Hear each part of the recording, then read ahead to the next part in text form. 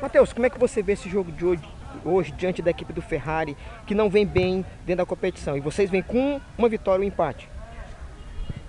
É, tem nem, nem como explicar, só quero vitória hoje, só quero Então, vitória. Você acredita que hoje pode sair uma vitória aqui Pode, do, pode. do Ajax? Pode. Então tá bom, obrigado, boa sorte pra ti. Valeu.